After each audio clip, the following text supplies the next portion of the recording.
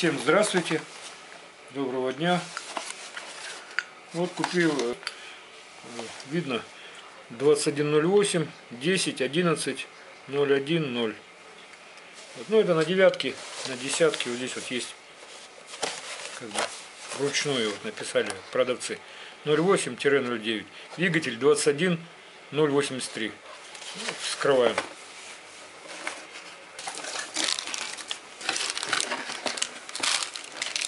Вот, значит, сам насос.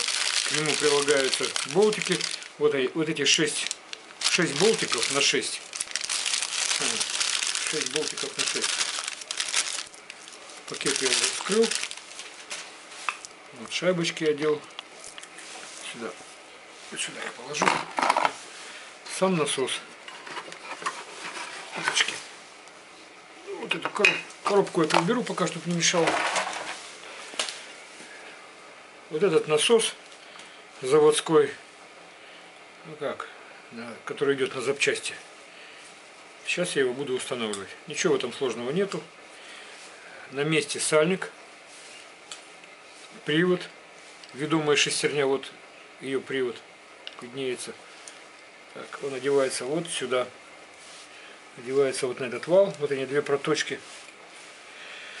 Вот. Для начала примерим. Вот это место, куда будет вставляться маслоприемник. Вот он. Если двигатель перевернут, то это место вот так вот вверх, чтобы вот эта плоскость, плоскость э, насоса совпадала с плоскостью прилегания поддона. Ну, как бы продолжение этой плоскости поддона. Чтобы совпали вот эти вот, вот этот привод, нужно немножко одевать и подшевеливать. Оп! Вот он встал. Вот он встал. Это я примеряю его. Значит, все нормально, плоскость есть. Теперь моя задача поставить сюда прокладку. Ну, Для уверенности, для того, чтобы быть уверенным, что она не будет бежать, я беру герметик, наш российский герметик. Вот эти все импортные герметики терпеть не могу, потому что они сохнут долго, привозят их неизвестно откуда. Поэтому беру обыкновенный наш российский герметик прокладка.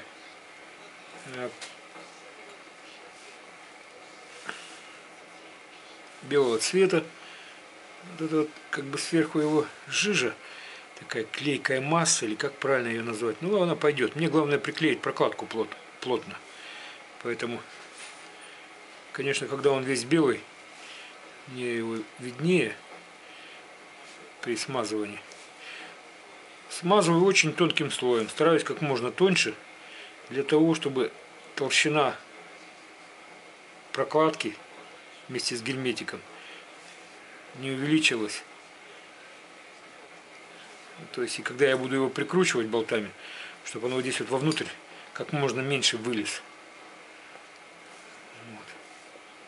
Вот я его смазываю. Вот пошел белый. То есть вот эта клейкая масса одна закончилась. Ну расслаивается он, что сделаешь. Такой у нас герметик российский. Хотя герметик сам по себе неплохой. Может он в магазине долго лежал. Может быть.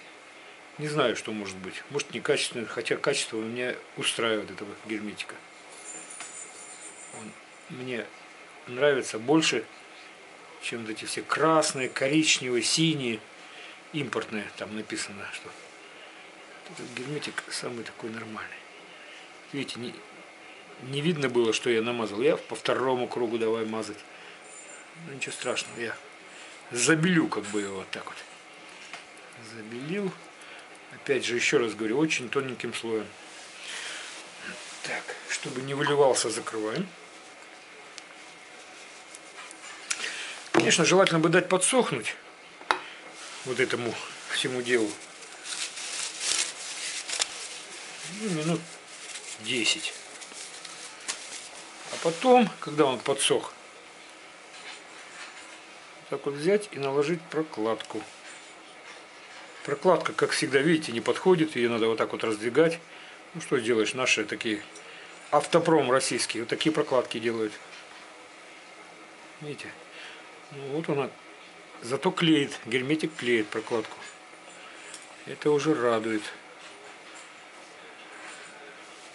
Вот она, съезжает, если видно. Вот я приклеиваю прокладку. Стараюсь ее. Но она съезжает, пока герметик еще сырой. Теперь, как бы, не доверяя качеству прокладки и желая улучшить качество прилегающих поверхностей, когда я болтами прикручу, вот шестью болтами на 6 прикручу, я еще дополнительно, опять же, тоненьким-тоненьким слоем смазываю эту прокладку, для того, чтобы она потом прилегла к блоку цилиндров. Очень тонким слоем смазываю. Так, вот э, прокладка вместе с нашим новым масляным насосом подсохла. Прокладка, как всегда, не подходит. Почему-то все русские прокладки не подходят. Конечно. Так, сейчас мы должны будем... Вот я ее прижал. Вот сюда по, по месту прижал. Видно там? И одеваю на вал. Вот. Вот эти вот вот эти две проточки должны совпасть, совпасть вот с двумя выемками, которые на ведомой шестерне, на ведущей вернее, на ведущей. Так, так, так, так, так. Ну, оденься, милая. Оп, отлично. Так, берем, берем новые заводские болты, покрашенные кисточкой, как я уже люблю говорить. Наши советские родные. Российские. Российские. Я советский еще, поэтому для меня застрял в Савдепе. Хотя в Савдепе, наверное, получше. А хотя так же и делали. Чего брать-то самому себе? Как делали говно, так и делают. Ну, немножко... Ты что, антирекламой занимаешься? Да никакой антирекламы. Я констатирую факт. Хотя в Савдепе, наверное, вот к этим вещам поначалу относились лучше. Вот отсюда снимай, чтобы видно, что делают. Вот четыре болта закрутил. Пятый. Шестой. Теперь берем шуруповерт, выставляем его, я выставляю на 10 ньютон. Сейчас точно не помню. В книге надо будет посмотреть, там, по-моему, 8. Ну, я на 10. Все, 10 есть. Есть. Стараюсь друг напротив друга болты заворачивать.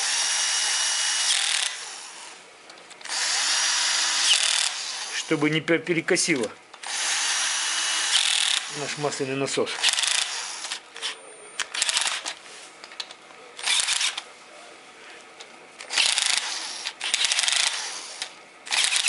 А подтягиваю уже в хаотичном порядке. Теперь, как бы не доверяя опять ничему, одеваю и немножечко подтягиваю. Ну, нормально, надо сказать, затянуло. Импортному шуруповерту не доверяешь?